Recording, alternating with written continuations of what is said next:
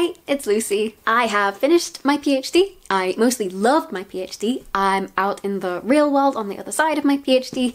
And sometimes I really miss my PhD, and sometimes I think how lucky I was during my PhD, and sometimes I think how you do the coolest things during your PhD and you don't even realise. Looking back on my years in Oxford, and I don't know where to begin in listing the things I'm really, really glad I did, but I can think of a few things that I almost didn't do that I'm really glad I did. And because that's actually a helpful video rather than just me reminiscing indulgently, I thought I would make a video on the top 10 things to try at least once during a PhD from someone who is out on the other side and maybe they're things you might want to try at least once if you decide they float your boat. So getting straight to it, and I don't know why, but I'm going to start with the least palatable first, and that is try getting up at 5.30am for a week. Hear me out. So I did this for one week, I diaried the process from numb sleepiness to oh hey, this now actually feels completely normal and I have all this undistracted time to do whatever I want with. And one year later, I'd had time to take up a serious hobby that stopped me from getting too obsessed with the PhD and thinking about it too much. And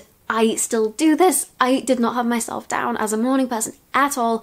I really, really recommend it. And yeah, please try it. Don't hate me. Please try it. Number two, horrendously push yourself at something you really think you can't do. Coding, thermodynamics, mathematics, these are words that make me go cold with fear even now.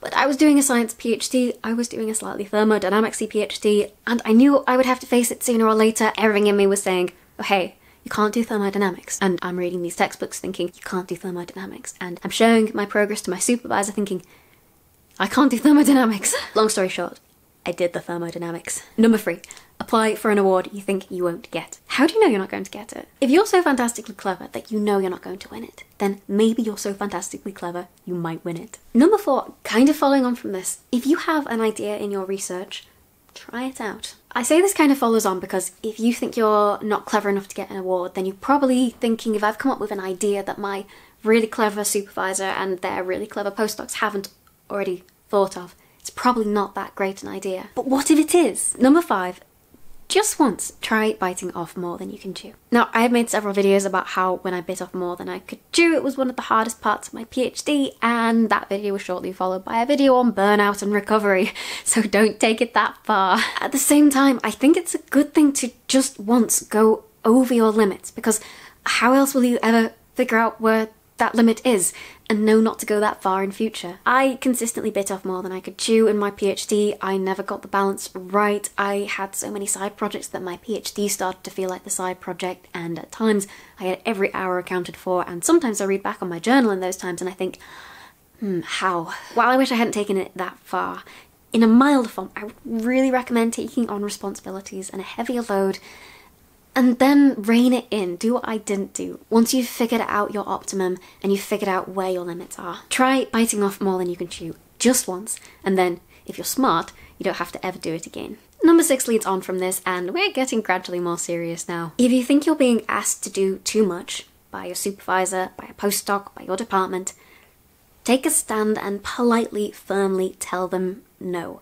because then you become a person who can take a stand. You can stop yourself biting off more than you can chew when it's just you who's responsible for it. But when there's someone else involved whose respect you want to earn or who you're kind of in their power, then you might feel less able to pull back within your limits. And I'm angry now, looking back and thinking, why did I say yes, even though at the time I knew I was being used? At the end of my PhD, I was asked to do something that was not in my best interests because I would have been doing it outside of my new job, outside of thesis writing, in my free time, and I, I felt sick to do so, but I said no. And they were really not happy, and I realised that they weren't happy because it was in their best interests. It sounds so simple, I feel like I'm trying to be a motivational cat poster, but when I told them no, I realised I could tell them no. Try this just once, and then you'll realise you can try it over and over and over again. Number seven on my list is going to follow the serious theme. The previous point was a case of you know something's not right and you know you're able to do something about it,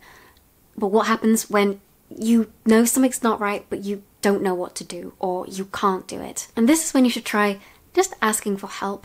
Ask for help, ask for help, ask for help. This isn't something to try just once. Try this whenever you think you need it. Just try it. Lucy, I'm looking at you. Just try it. Try once, tell me how it goes. Number nine isn't something to try unless you have to. remove yourself from unfixable situations. Try it when you don't have anything left to try. What else is there to say? Ah, this video got dark. I swear I mostly enjoyed my PhD. Okay, how's this for number 10? Super serious, the most serious, serious, serious one. And this is two, back up the backups of your backups. Back up your hard drive. Back up your hard drives, plural. Back up your iCloud. Back up your Dropbox. Put really important things on email. Put really, really important things on little USBs that you can then distribute. Do not lose your data. Do not lose your thesis. Do not lose your mind. Share this video to save a life. tell me in the comments what your one essential thing to try during your PhD is, or tell me what glaringly obvious thing you can't believe I've missed is, or tell me something so far out that people won't believe that anyone even tries it. I tried a lot of strange things in my PhD, including public speaking, standing up for myself, and drinking coffee. Strangest thing though, the very, very strangest was that I did the thermodynamics just for a few weeks while it was white hot glowing in my mind. I could have called myself a thermodynamicist. Alright, not really, but I still got my PhD just the same. Thanks for watching. My name is Lucy Kissick. I am a scientist in the nuclear industry and a science fiction author, and take care.